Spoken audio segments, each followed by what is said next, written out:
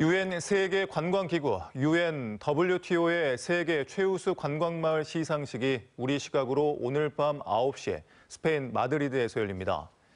오늘 시상식에서는 신안군 반월 박지도 퍼플섬이 세계 최우수 관광마을 후보로 올라와 있는 가운데 퍼플섬의 수상 여부에 관심이 쏠리고 있습니다.